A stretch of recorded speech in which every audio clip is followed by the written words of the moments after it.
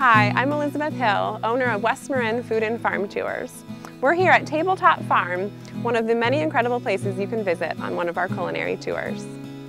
My family started coming out here in the 1800s and I fell in love with Point Reyes as a child.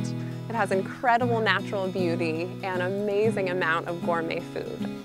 So when I was in culinary school, I invited all my friends out here to go wine tasting, cheese tasting, oyster tasting, and we decided I needed to start a business.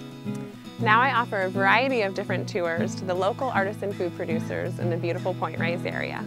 The best thing about the food and farm tours is that you get to go behind the scenes and get exclusive tastings at the best food producers in West Marin. We try organic cheese at the Cowgirl Creamery, oysters at Hog Island, grass-fed meats at Marin Sun, and many, many more. At each stop, we'll learn about local history, sustainable agriculture, and how all of this delicious food is made. The tours are nice and small, so you really get an intimate feel for the area. We also customize tours to accommodate larger groups. So grab your friends and come along with me on a West Marin food and farm tour. Bon appetit!